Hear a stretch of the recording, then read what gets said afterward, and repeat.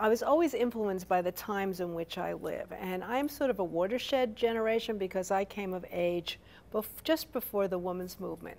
And I grew up thinking that men were smarter than women, and nobody would ever want to pay attention to anything I ever had to say. And so science, I, I, well, first it appealed to my logical side, but also it gave me authority because it wasn't my ideas. I could really count on science. So science gave me some gravitas, and that's why I went toward it. Plus, I was attracted to it.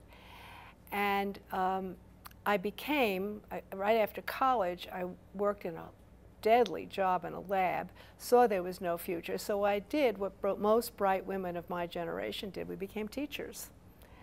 And I couldn't get a job teaching in high school science, which is what I was certified for, but I finally landed a job teaching seventh, eighth, and ninth grade science. And if you can teach those kids with raging hormones, you can teach anybody.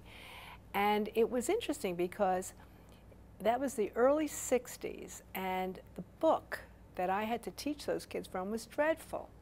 So I basically went to the library, found trade books that gave a more humane approach to science, and I basically made up my own teaching materials because there was nothing in the books that I felt I could give these kids.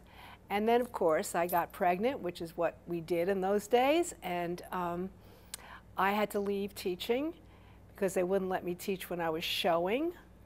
So I had to stop in my sixth month. And there was an ad in the New York Times for teachers to write educational materials. And I thought, well, if I could talk about science, I could write about it. And so that was the beginning of my career. And I've never looked back. I really have enjoyed mostly finding a way to tie scientific observation into the lives of children.